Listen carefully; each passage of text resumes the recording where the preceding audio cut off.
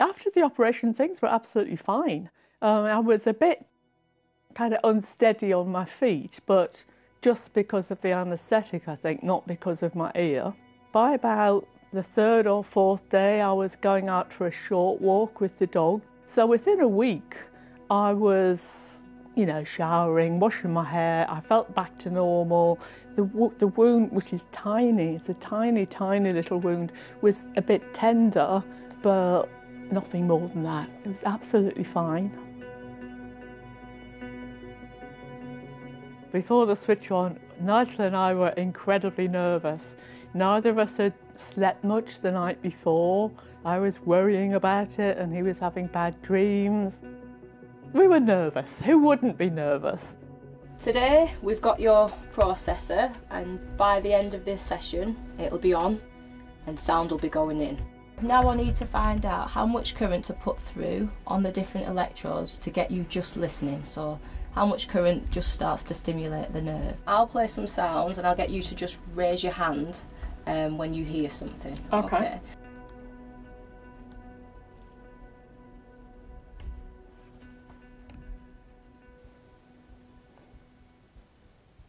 Oh, uh, um, a sensation. I wouldn't call it a sound. Yeah. If you get a sensation, you can put your hand okay, up. Okay, right. Okay.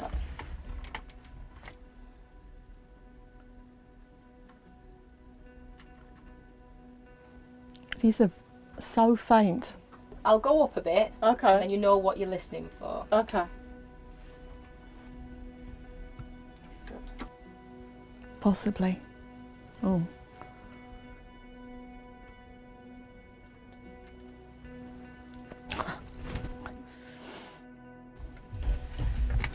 Finished now. Okay. We've done the listening for quiet sounds. Now I'm going to make the sounds a bit louder so it should be a bit easier. I'm going to go louder and louder. You can be looking at me and I just want you to say stop when it gets to a level that's loud.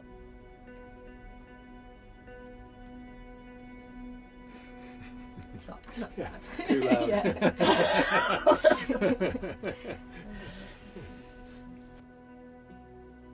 I don't like it much. Right. I wouldn't say it was painfully loud, but it's just like. Okay, well, I'll do. I'll go back down a little bit again. Just tell me to stop. Okay. When, when... Okay. I think maybe stop. I don't think I like this. Okay. One more. Stop with that. Yeah. Stop. It's another. It's it's the high pitched yeah. ones that are making me jump, but. We've not heard I've them not heard them. While.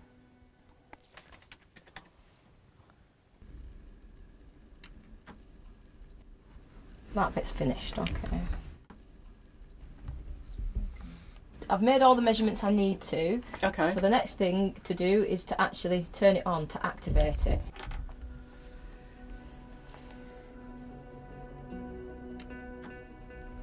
You might be able to follow speech, but more than likely it's just going to sound very strange. When I switch it on, initially it'll probably be a bit quiet.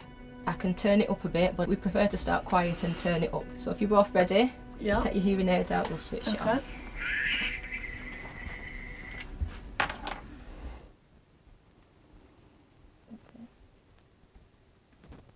What do I sound like? I'm sounding like, uh, you sound like I haven't got um, yeah, like I haven't got hearing aids in, incredibly quiet.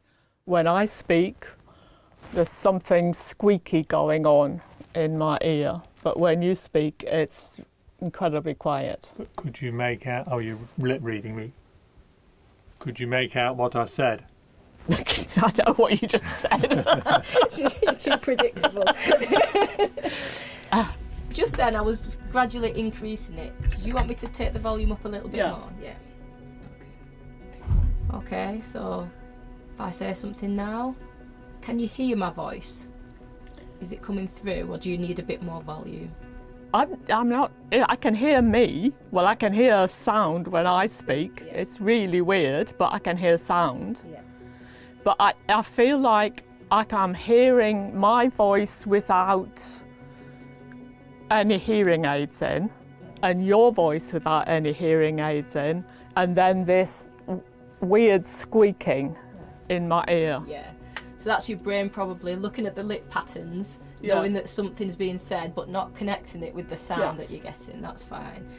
I just want to make sure that you can hear something while I'm speaking.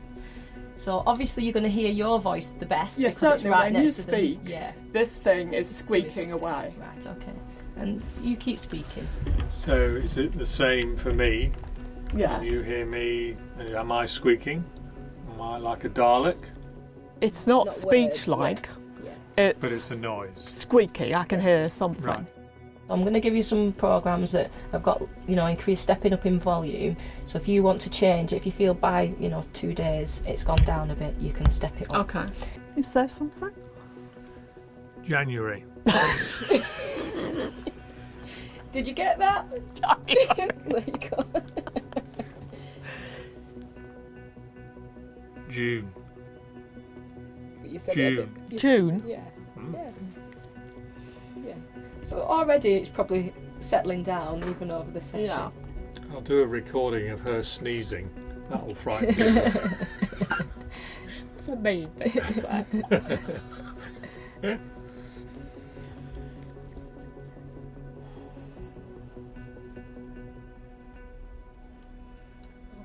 Can you take that off? Take this off.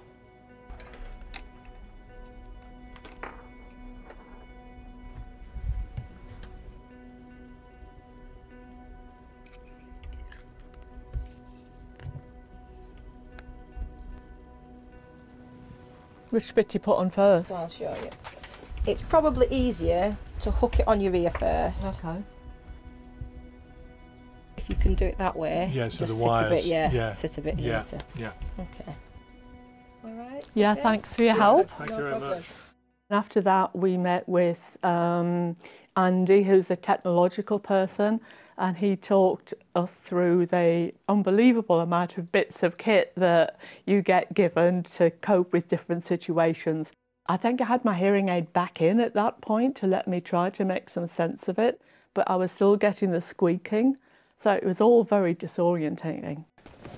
How's it sounding? Is it all right or Very weird. very weird? Just take a bit I- getting used to. Getting used through my hearing aid and squeaking right, through right. Yeah, you'll Take- soon. It'll get better. You'll get used to it. Yeah. things. Yeah. So what I'm going to do is just go through all the equipment with you, just explain what everything is, how it all works. Okay. Okay. This bit's called the coil. That's obviously the bit with the magnet that's Mm-hmm. on the side of your head. Yeah. You've got a coil cable there. The battery pack is at the bottom. Yeah. And then this top part is the actual processor itself. Okay. So that's the main part at the top. Okay. So nice and simple. That bit just comes Pulls off out. the end. To get that cable out, you just need to make sure that the cover's down first. Okay. And then that cable will just Pulls pull out. straight out. Okay. When the cover comes down, it automatically switches off for you. Okay. And then as soon as you push the cover all the way up, it will switch on. Okay. You've got three rechargeable batteries, and this is the charger for it.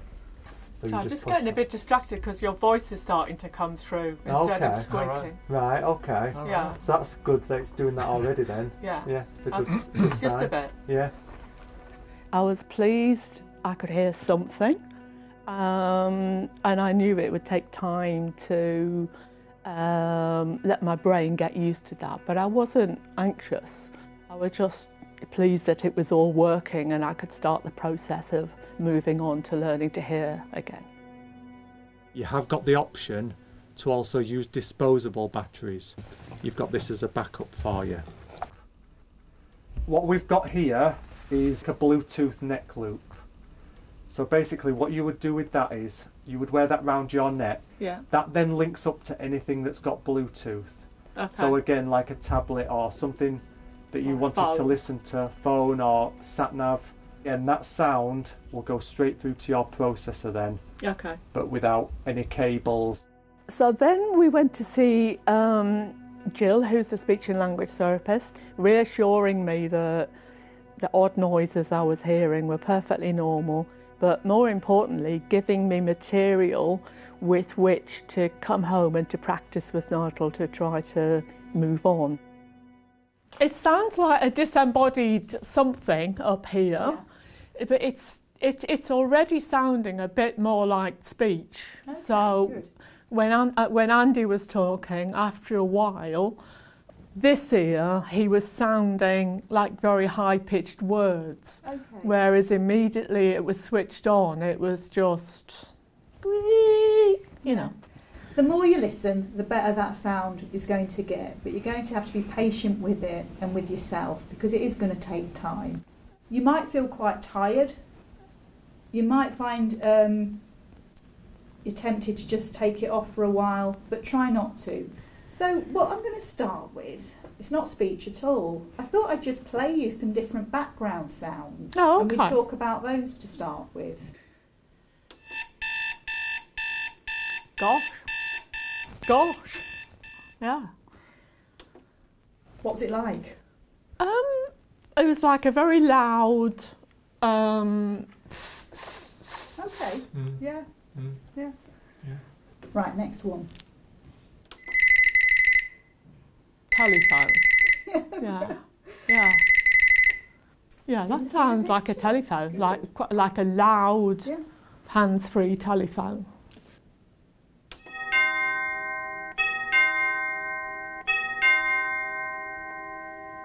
Oh, it- it doesn't sound like our doorbell, but it, you can tell it's going bing, bing, bing, bing. Yeah, yeah.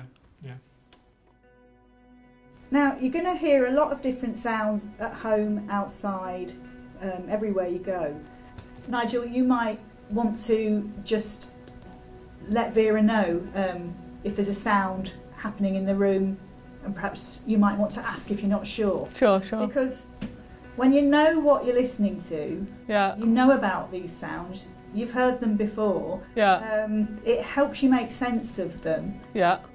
I'm going to try one or two things that are more about speech. With these exercises, you'll just be using your listening and you might be using the words in front of you to support what you're hearing, but you won't be lip reading. I'm going to start with some different sentences and they're all about the same topic.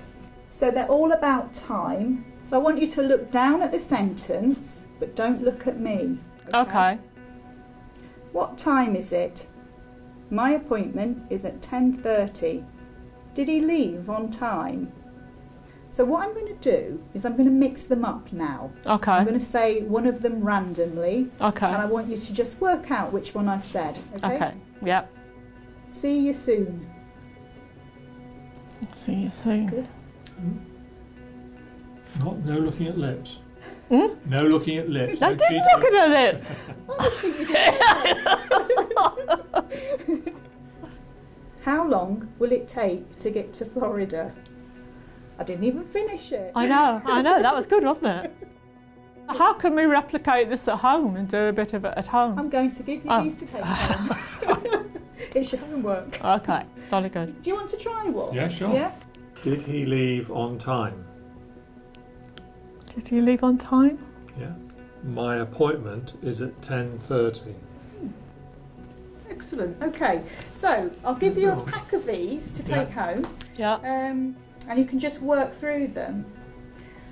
Now, this is something called text tracking, and you're just going to track my voice as I read the words. Every so often, I'm going to stop talking, so I might go boiled, baked, roasted, and I'll stop, and you'll tell me Well, you've got to. because roasted was the last word. Okay, okay. Boiled, baked, roasted, or fried, the potato After potato. is a versatile vegetable. It also produces nutritious food Food. quicker and on less land than any other major crop. Crop. The potato could just prove Prove. to be a buried treasure. Buried treasure. That's good. So try these with different people if you can. Yeah. It's just a really nice way again to focus on people's voices without lip reading, but you've got that text there to Yeah. support what you're listening to. Yeah. You want to try one more thing? Yeah. Yeah. Okay. It's called sentence building. Sentence building. Mm, The sentence begins I bought some. Okay. I bought some. Yeah. And then I'm going to add a word. I bought some shoes. No idea. I bought some shoes. Shoes. I bought some shoes from the shop. From the shop. Yeah, very good. Nigel volunteers at a primary school. He's probably used to this. It's a hard one to try. You've only been switched on for a short while, so you did really Very well. reassuring, Jill. Yes, so, I'm going to give you all these to take home. Do these um, every day if you can, maybe just for a few minutes at a time, and just really focus on listening without looking at the other person. These exercises are just part of it. It's really the people you're with, the conversations you're going to be having this week that are going to be giving you lots of sound, different things to work with. The more people um, you're having face to face conversations with, I think the better. Okay. I think that was a really good start though. Yeah, no, I'm feeling. I think just to begin with, it's just people tell you that it's a weird squeaky voice, but until it actually starts doing weird squeakiness in your head, you don't really appreciate. Well, we came out into the reception area, and Anne, the receptionist, who's a lovely woman, said, How does it sound, Vera? And I said, Weird. And she said, They all say that. and that was nice. That was nice. So, as soon as we were out of the hospital environment, I became much more aware of how different everything sounded. We came home with a whole folder of these things and um, ready to start, really.